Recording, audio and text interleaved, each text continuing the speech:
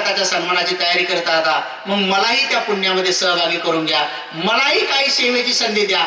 मलाही सांगा की मी काय करू म्हणून.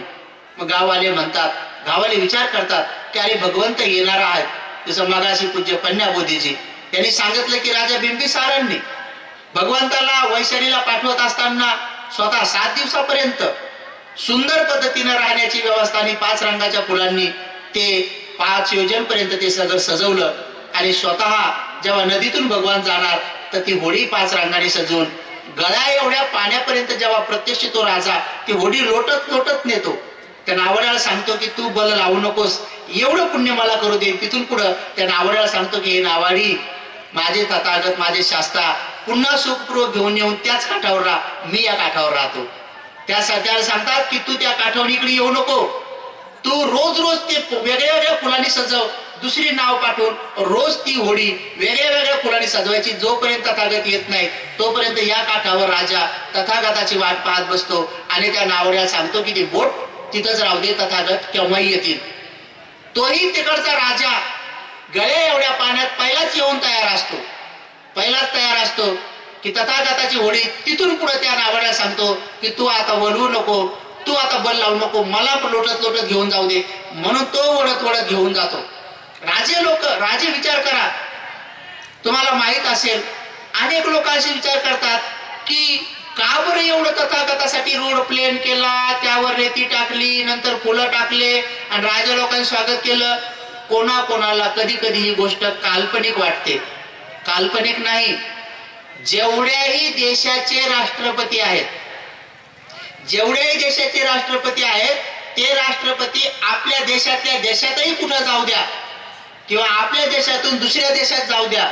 तुम्ही कधी राष्ट्रपतीच्या आगमनाचा ताफा पाहिला असेल तर तुमच्या निश्चित लक्षात येईल.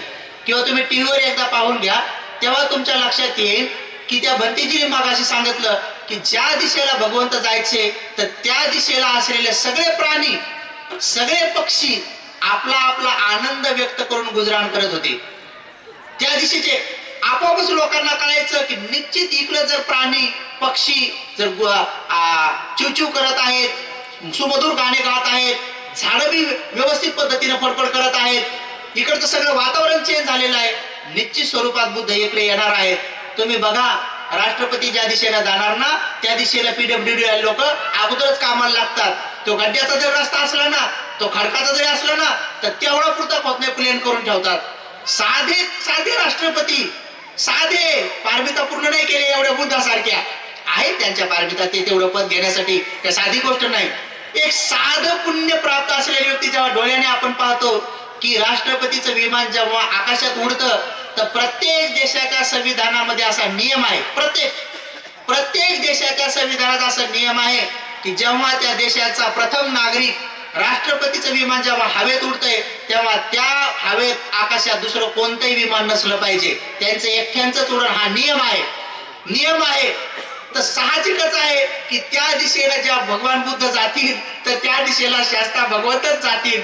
बाकी भगवंताचे भगवंतासाठी ते पक्षी आवाज करत होते. म्हणून राष्ट्रपतीसाठी पुढे अँब्युलन्स कॉम कॉम कॉम करत जाते त्या काळातलं अनुकरण आता फक्त एक टक्का केलेलं आहे. तुम्ही राष्ट्रपतीचा ताफा पाहून त्याच्या शंभर पट विचार करा की बुद्धासाठी कसं नियोजन असेल. म्हणजे तुमच्या लक्षात येऊन जाईल की ते कसं होत असेल. आणि राजा असो किंवा तिथला प्रमुख असो ते पहिलेच तिथं सन्मानपूर्वक पांढरे शुभ्र कपडे परिधान करून डोक्यावरून आंघोळ करून पहिलेच ते लोक हात जोडून पाच रंगाचे फुलं अवधळून आणि हातात पुष्पमाला घेऊन ते लोक उभे राहत होते.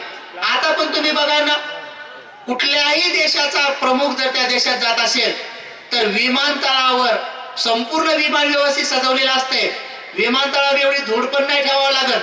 जर का राष्ट्रपती उतरले आणि आजूबाजूला धूळ दिसली तर त्या तो देश तुमच्या देशासोबतचे सगळे करार सोडून देतो तोडून टाकतो.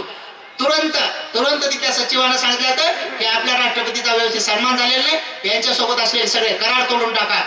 ते वेगवेगळे करार असतात. भलं मोठं नुकसान होण्याची शक्यता असते भलं मोठं संकट पण येण्याची शक्यता असते. म्हणून कुठल्याही देशामध्ये जर आपल्या देशात या आजच्या कार्यक्रमात जर हे काही निर्बंध लागले नसते तर निश्चित स्वरूपात या सगळ्या परिषदेला पाहता आलं असतं की मैत्रेपालजी आपल्या येथे येताना त्यांचं कसं कसं नियोजन झालं असतं हे सगळ्यांना डोळ्यांना पाहता आलं असतं. सगळ्यांना कळलं असतं की त्यांच्यासाठी स्पेशल रस्ता नंतर इथं मधात किती अंतर? हे सगळं अगोदर तिथले कलेक्टर कमिशनर हे सगळे लोक येऊन अगोदर पाहतात त्याचा डेमो घेतात. यदा कदाचित काही झालं तर त्यांना कोणत्या रस्त्याने घेऊन जायचं कसं त्यांना सुरक्षित करायचं हे सगळं सगळं नियोजन आता पण साध्या प्रमुखासाठी होते ते तर सत्ता देव मनुष्यानंद बुद्ध भगवाती. असे ते बुद्ध भगवान आहेत. म्हणून खरंच आहे की त्या भगवंताच्या स्वागतासाठी दीपंकर सम्यक संबुद्धाच्या स्वागतासाठी. ती भव्य दिव्य राजा आणि प्रजेच्या मार्फत होणारी तयारी सुमेधाला आकर्षक वाटली. सुमेधाने विनंती केली. गाववाल्याने विचार केला की ऋषी आहे तपस्वी आहे महाबलशाली आहे. यांच्याकडे थोडं कठीण काम द्यावं. जिथं जास्त दगड बिगड आहेत ते काम त्यांना द्यावं. आणि सुमेधांच्या वाट्यावर ते काम आलं. सुमेधांनी बाकींच्या सारखं त्या अनेक पटीनं श्रद्धेनं ते काम केलं. आणि पाहता पाहता भिक्खू संघ येऊन येऊन थांबला आणि सुमेधांच्या वाट्यावर जे थोडं बहुत काम होतं थोडा चिखलाचा भाग होता ते अजून शिल्लकच राहिलं होतं. भिक्खू संघाची वेळ झाली होती. सुमेध कामात मग्न होते. एवढं सगळं एकवीस दिवस पर्यंत पाहतील एवढं सगळं धनसंपत्ती सोडून आले होते. त्या धनसंपत्तीचा अहंकार गर्वही थोडा नव्हता. वैराग्य भाव खूप उत्पन्न होता. आणि जेव्हा त्यांनी पाहिलं की सगळे लोक आजूबाजूला त्यांना जमाव दिसला आणि पाहतात आणि मागच्या दिशेला वळून पाहतात तर दीपंकर संघ समुद्र येऊन उभे आहेत. भिकू संघ पाठीमागे येऊन उभा आहे. सगळं काही प्लेन झालेलं आहे सजवलेलं आहे पण थोडा रस्ता चिखलाचा बाकी आहे. आता भगवंताचे पाय भरले नाही पाहिजे म्हणून सुमेध नावाच्या त्या ऋषींना एवढी श्रद्धा उत्पन्न होते आणि ते आपल्या स्वतःला त्या चिखलामध्ये झोपवतात. ते पोटावर झोपतात आणि विनंती करतात की अहो भगवान अहो शास्ता अहो महाकारुणिक आपले पवित्र पाय जमिनीवर या चिखलात नका पडू देऊ. माझ्या शरीराचा पूल म्हणून वापर करा आणि माझ्यावरून तुम्ही जा आणि हे पुण्य मला प्राप्त होऊ द्या. तुमच्या सारखाच मी सम्यक संबोध झालो पाहिजे असा अधिष्ठान मनातल्या मनात मनातल्या मनात करतात. शास्त्रा भगवान बुद्ध परचित्त ज्ञानी असतात. पाठीमागचा संपूर्ण भूतकाळ वर्तमान काळ आणि पुढचा भविष्य काळ तिन्ही लोकांचे ते शास्त्र असतात. दीपंकर सम्यक संबुद्ध सुमेध ऋषीच्या मनात चाललेला हा संकल्प जाणतात आणि जाणून क्षणार्धात पाहतात की यांचा हा संकल्प पूर्ण होणार की नाही. कारण हे तर जमिनीमध्ये स्वतःला चिखलात यांनी झोपवलेला आहे आणि माझ्यासाठी एवढी श्रद्धा आहे की पूल बनवा पण खरंच यांचा संकल्प जर पूर्ण होत असेल तरच मी असं करतो. नाही जर यांचा संकल्प पूर्ण होत असेल तर यांच्या त्यांच्या शरीराहून जाण्याची काय आवश्यकता नाही आहे. ते पाहतात. क्षणार्धात त्यांना दिसतं की सुमेध ऋषी साधी सुधी व्यक्ती नाही आहेत. आणि हे तर बोधिसत्व आहेत. आणि या सुमेधांना पण माहीत नाही की बुद्ध बनण्यासाठी यांच्या चौदा असंख्य सोळा असंख्य कल्प पारमिता पूर्ण झालेल्या आहेत. सुमेधांनाही माहीत नाही की त्यांनी बोधिसत्वाच्या सोळा असंख्य कल्प पारमिता पूर्ण केलेल्या आहेत. त्यांनाही माहीत नव्हतं की ते बुद्ध कधी होणार आहेत कधी नाही त्यामुळं त्या पारमितेला नाव दिलं अनिश्चय पारमी. अनिश्चय म्हणजे निश्चित नव्हतं बुद्ध कधी होणार आहेत. पण ते पारमिता करत गेले करत गेले.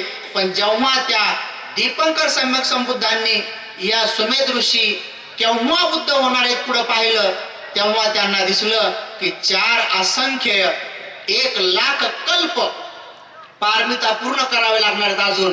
पण निश्चित झालं तिथून पुढे म्हणून या पारमितेला निश्चया पारमी म्हणतात. सोळा असंख्य अनिश्चया पारमिता होत्या. कोणत्याही सम्यक संबुद्धाने घोषणा केली नव्हती सुमेधाच्या एवढ्या जन्मात कोणच घोषणा केली नव्हती की तुम्ही बुद्ध होणार म्हणून. त्यांनाही माहीत नव्हतं की मी बोधिसत्वाच्या पारमिता माझ्या पूर्ण करत करत इतक्या झालेल्या आहेत. पण दीपंकर सम्यक संबुद्धांनी घोषणा केली की चार असंख्येय एक लाख कल्प पारमिता पूर्ण झाल्यानंतर कपिल वस्तू नावाच्या नगरामध्ये जिथं राजा शुद्धोधन महामाया आहेत त्यांचं कुळ इश्काऊ राहील. इश्काऊ म्हणजे शाक्य कुळ राहील. आणि त्या कुळामध्ये तुम्ही सिद्धार्थ गौतम म्हणून जन्मग्रहण करसाल. आणि तिथं तुम्ही सम्यक संबुद्ध बनसाल. कुठा सुमेधा तुम्ही निश्चित स्वरूपात बुद्ध होणार. म्हणून बुद्ध त्यांच्या शरीरावरून जाऊन त्यांची ती पारमिता करून देतात. पण भिक्खू संघांना आदेश देतात. पाठीमाग असलेल्या सगळ्या आरंतांना सगळ्या आरंतांना आदेश देतात की हे भिक्षुंनो तुम्ही मात्र या सुमेधांच्या वरून जाऊ नका. कारण तुम्ही सुमेधावरून जाऊ शकत नाही. कारण सुमेध हे काही साधे सुधे व्यक्ती नाही. जसं मी आज सम्यक संबुद्ध आहे तसं हे भविष्यातले होणारे भावी बुद्ध आहेत. हे गौतम बुद्ध आहेत. हे सम्यक संबुद्ध आहेत.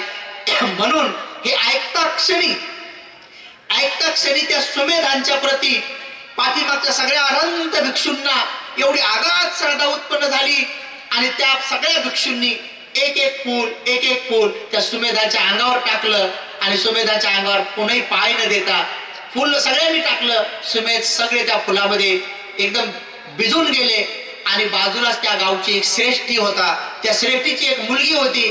त्या मुलीने जेव्हा सम्यक संबुद्धाच्या मुखातून ऐकलं की हे साधे सुधे नाही आहेत हे भविष्यातले होणारे बुद्ध आहेत तर या बुद्धाला होण्यासाठी चार असंख्य एक लाख कल्पापर्यंत पारमिता पूर्ण कराव्या लागणार आहेत.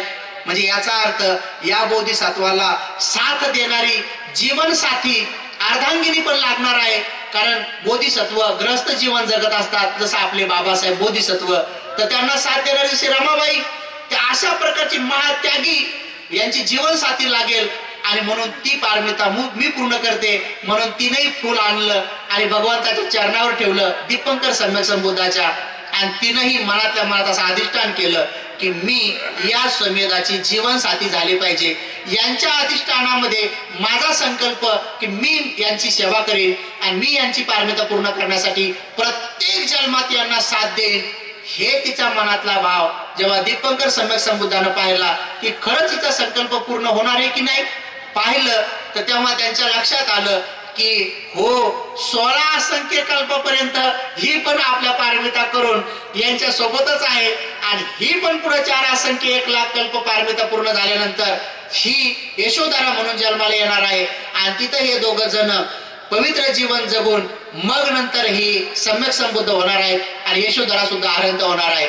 हे दीपंकर सम्यक संबुद्धानं सांगितलं आणि तशा प्रकारचं त्यांना मंगलमैत्री दिली आशीर्वाद दिला.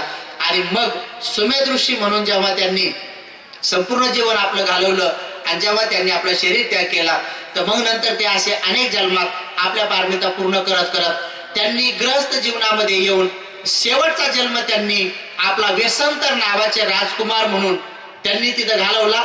आणि सर्वात मोठी दान पारमिता तिथं करून मग ते व्यसंतराच्या जन्मामध्ये जेव्हा त्याने शरीर त्यागलं महाप्रयाण केलं तेव्हा ते तुषित देव लोकात गेले. आणि मग तिथून कंटिन्यू जोपर्यंत गौतम बुद्ध म्हणून जन्माला येत नाही तोपर्यंत ते तुषित देव लोकातच आपल्या पारमिता पूर्ण करत राहिले. आणि नंतर सव्वीसशे वर्षापूर्वी जेव्हा ते इथे महामायांना स्वप्न पडलं स्वप्नामध्ये चतुर्दीपाल आले आणि मग इथून पुढचा वृत्तांत तुम्हाला बुद्ध आणि त्याच्या धम्मग्रंथामध्ये नीट ऐकायला मिळतो पाहायला मिळतो. मग बाबासाहेबांनी ते सगळं वर्णन केलं.